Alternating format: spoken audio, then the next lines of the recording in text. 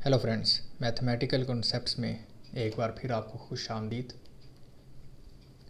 आज हम बात करेंगे फिनाइट और इनफिनाइटली फोल्डेबल पॉलीगॉन्स के ऊपर। और जो आज मैं आप लोगों से डिस्कस करूँगा, ये कुछ प्रॉपर्टीज़ पॉलीगॉन्स की। मैंने ख़ुद ही इनको दरियाफ्त किया था, आप कह लें कि फ़ाइंड आउट किया था। नेट के ऊपर तो मुझे नहीं मिला ऐसा कोई भी मटेरियल अगर आप लोगों के पास या आप लोगों को कुछ भी नेट के ऊपर ऐसा मिला तो आप लोगों ने लाजमी कमेंट्स में मुझे बताना है। तो पॉलीगॉन्स, सबको पता है कि पॉलीगॉन्स क्या चीज़ें होती हैं, ठीक है? पॉलीगॉन्स आपके पास क्लोज फिगर्स होती हैं, ठीक है? ऐसी क्लोज फिगर्स जो प्लेनर होती हैं, ठीक है? जो एक प्लेन के ऊपर लाई करती हैं।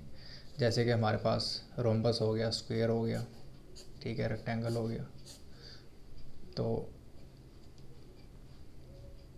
ये सारी क्या है हमारे पास? पॉलीगॉन्स हैं। तो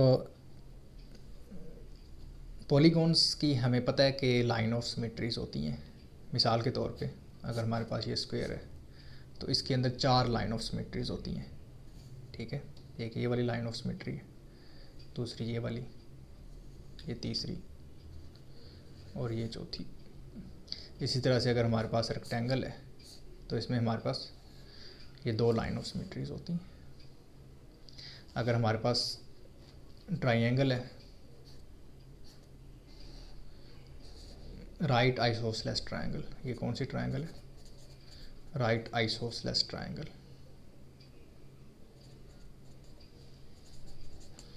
isosceles triangle right isosceles triangle का मतलब ये कि इसमें एक एंगल 90 का होगा। और इसकी दो साइड्स होंगी वो इक्वल होंगी। बेस और जो इसका परपेंडिकुलर है वो इक्वल होगा, मिसाल के तौर पे। वन वन ठीक है, ये ट्रायंगल क्या है? एक राइट आइसोसलेस ट्रायंगल इसकी जो लाइन ऑफ़ सिमेट्री होती है वो, इसके जो एंगल 90 डिग्री एंगल होता है, उसको बाइसेक्ट करके जाती है, ये वाली।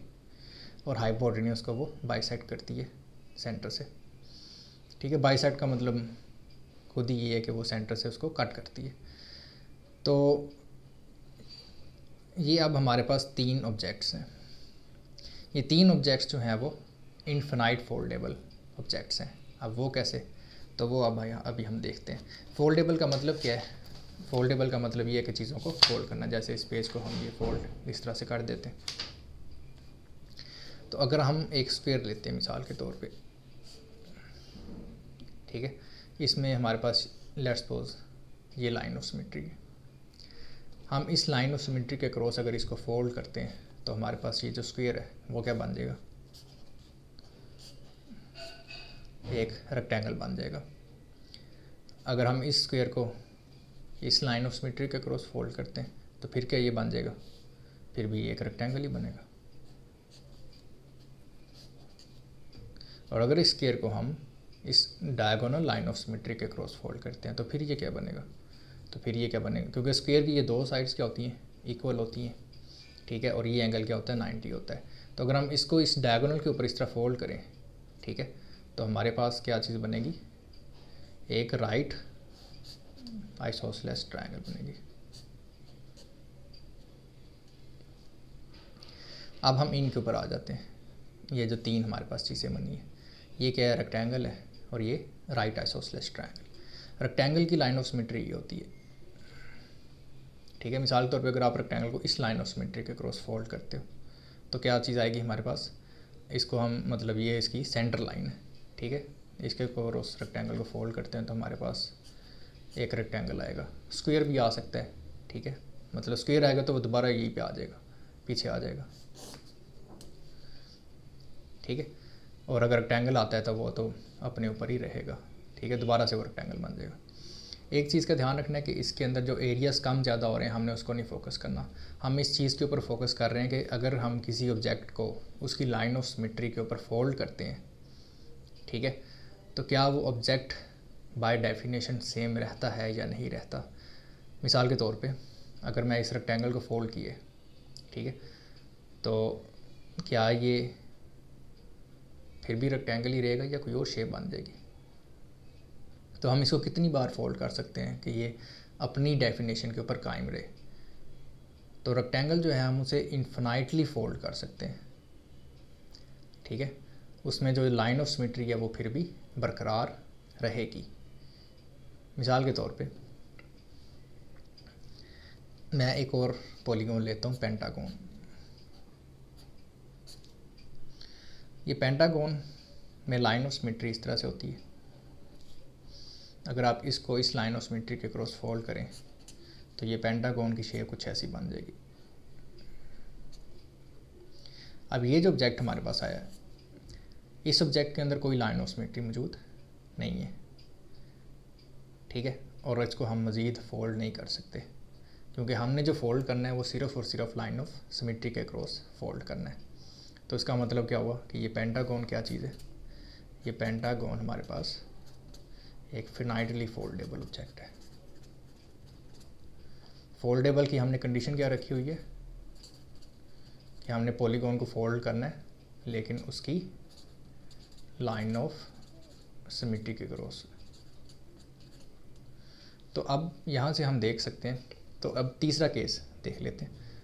बल्कि इसे हम दूसरा केस कहेंगे, क्योंकि ये दोनों तो रेक्टेंगल्स हैं, और ये क्या है? राइट एसोसलेस ट्रायंगल अब राइट एसोसलेस ट्रायंगल के अंदर भी एक लाइन ऑफ़ सिमेट्री होती है, जो कि ये वाली अगर हम इसको इसके क्रॉस फोल्ड करें तो हमारे पास रिज़ल्ट में, हमारे पास जो इसका रिज़ल्ट आएगा, वो एक मज़ीद एक राइट एसोसलेस ट्रायंगल होगी, जिसका एंगल यहाँ पे 90 डिग्री होगा। ठीक है? अब राइट एसोसलेस ट्रायंगल है तो इसका मतलब इसमें फिर लाइन ऑफ़ सिमेट्री मौजूद होगी। उसको दोबारा फोल्ड करें। तो इसका मतलब ये हुआ कि ये जो राइट एसोसलेस ट्रायंगल है और जो रेक्टेंगल है और स्क्वेयर ये तीन पॉलीगोन्स ऐसे हैं हमारे पास, जिनको हम जितनी मरतबा भी फोल्ड करते जाएँ, उनके अंदर लाइन ऑफ़ सिमेट्री कभी भी वैनिश नहीं होती।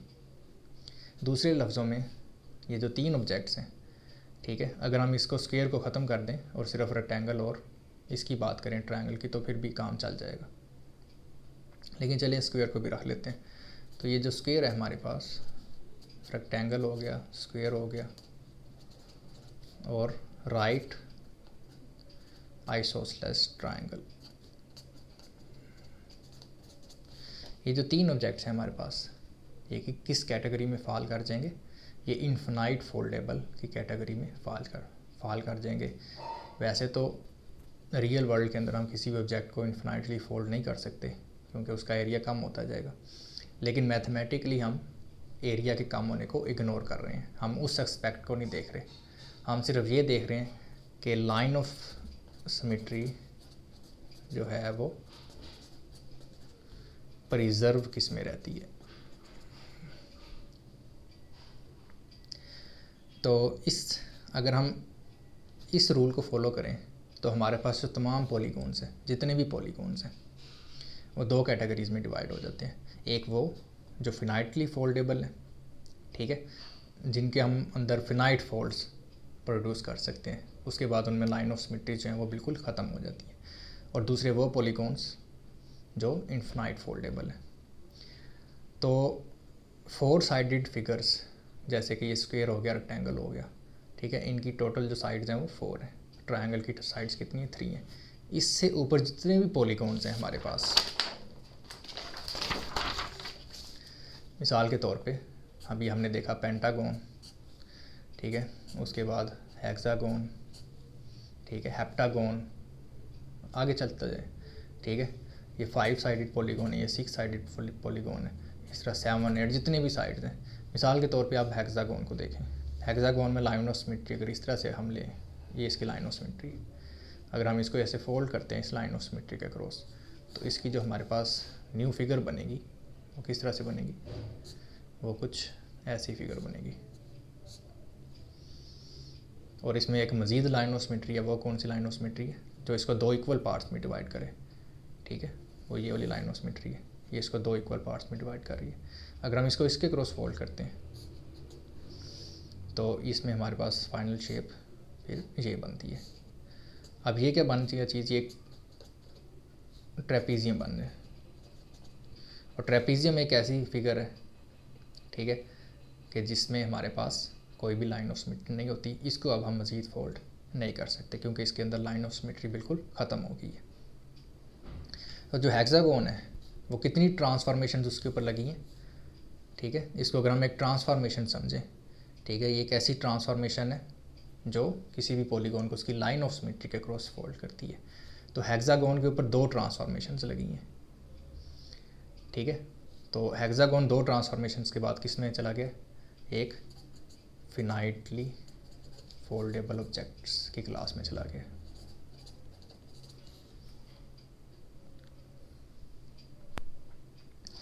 तो आई होप आपको ये कैटेगराइजेशन पॉलीगॉन्स की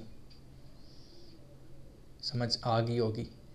और अगर आपको इससे रिलेटेड कोई भी चीज़ नेट के ऊपर या कहीं पे भी मिलती है तो वो कमेंट्स में लाजमी शेयर कीजिएगा। और अगर आप किसी चीज़ की इसमें नहीं समझ आई तो वो भी आप लोग कमेंट्स में लाजमी पूछें। Thank you